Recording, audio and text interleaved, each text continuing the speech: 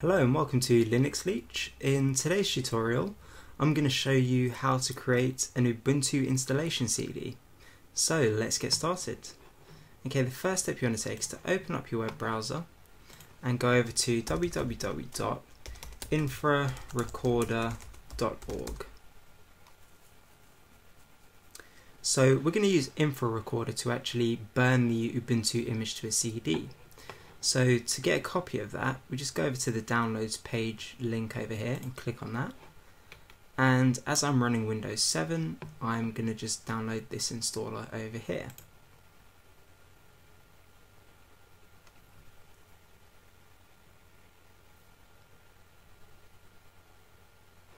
And I'm going to save that to my desktop. Okay, while that downloads, let's go over and get ourselves a copy of Ubuntu. So if you just open up a new tab and go over to www.ubuntu.com and we're going to go and click on this download link over here and we're just going to click on the download and install link just over here. Okay, so I want the latest version and 32 bits is fine for me. So just click on the start download button here. And I'm going to save that to my desktop. Okay, so while that's downloading, I'm just going to pause the video here and come back when it's done. Okay, so Ubuntu has finished downloading and so has our infra recorder. So the first step we're going to take now is to install infra recorder. And select the language, English is good for me, so I'm going to click OK.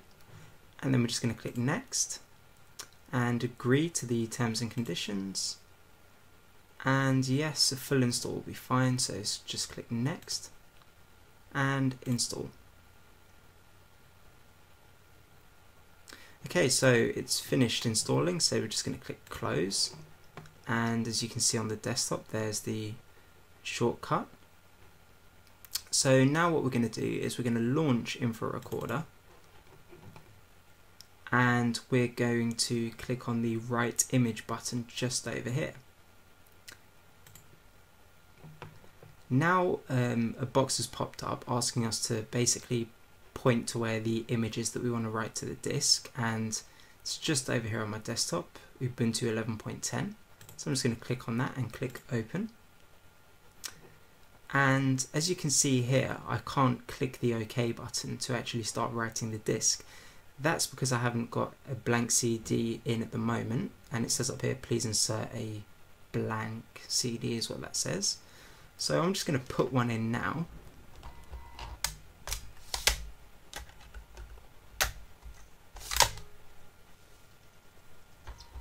And just wait for Infra Recorder to pick that up should only really take a few seconds, doesn't really take that long. And by clicking this refresh, um, it's detected the disk. So now we can actually start changing some of these settings. Um, there's only one setting that I'd recommend changing. Um, as I only want to write one copy, I'm just going to leave this as one, but you could write up to 10 copies if you want. The setting that I'd recommend changing is the write speed. Now, in my experience, it's never a good idea to write anything at the maximum speed that your drive can write at because you may want to put the CD into another CD-ROM drive or DVD-ROM drive and it may not be able to read it due to the speed that it's been written at. Um, I've encountered this problem quite a few times and generally the thing that fixes it is by just writing at a slower speed. So I'm just going to click on 16 times. Um, you can, by all means, write it at maximum speed if you're just going to install it on the computer that you're writing the CD with. Um, but just from experience, I always write CDs at a slower speed. Um, it just saves me hassle. So now that's done, we're just going to go ahead and click OK. And the burning process has started. So while that works its magic and burns the CD, I'm just going to pause the video now and come back when it's done.